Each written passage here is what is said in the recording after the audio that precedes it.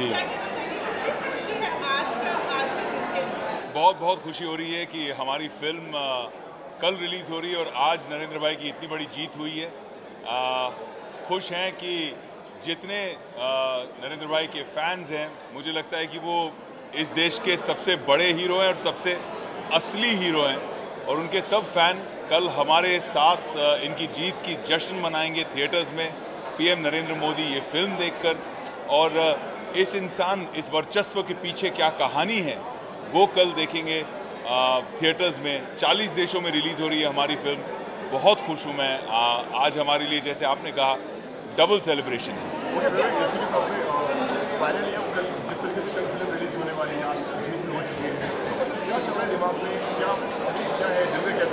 बस खुश हूँ और आ, आ, मैं सोच रहा था कि मुझे राहुल गांधी जी को और कांग्रेस से सर बड़े नेता जिन्होंने हमारी फ़िल्म को रोकने की कोशिश की मैं चाह रहा था कि पूरी विनम्रता के साथ उन सबको मैं इनवाइट करूँ कि वो आए कल हमारी फ़िल्म देखें। अब तो हार गए हैं तो थोड़ी छुट्टी ही है उनके लिए। तो आए हमारी फ़िल्म देखें और शायद मोदी जी की ये कहानी देखकर उन्हें भी कोई प्रेरणा मिले। आ, उनकी पॉलिटिक्स में भी कोई अच्छा बदलाव आए सकारात्मक सोच आए। तो यही मेरा एक निवेदन है उन सबसे कि आएँ और फ़िल्म देखें।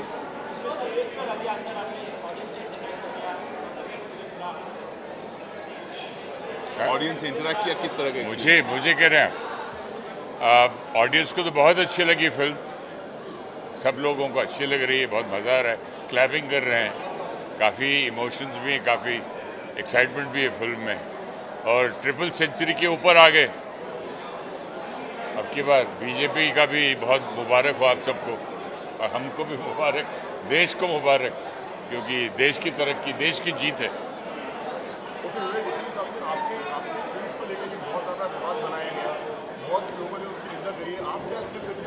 जैसे आपने कहा बहुत ज़्यादा विवाद हो चुका है तो अब इस विवाद को भूल जाते हैं आगे बढ़ते हैं क्योंकि कल फ़िल्म रिलीज़ हो रही है।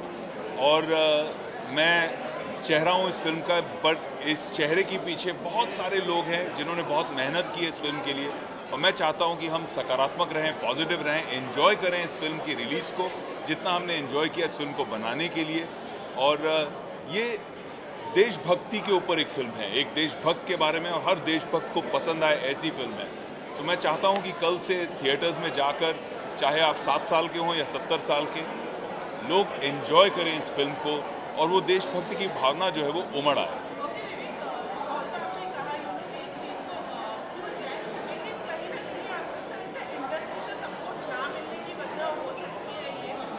नहीं, मैं इन सब चीज़ों के बारे में बिल्कुल सोच ही नहीं रहा। मैंने डिसाइड कर लिया है कि मैं बहुत सकारात्मक तरीके से इस फ़िल्म की रिलीज़ को एंजॉय करने वाला हूँ, अपनी टीम को सेलिब्रेट करने वाला हूँ।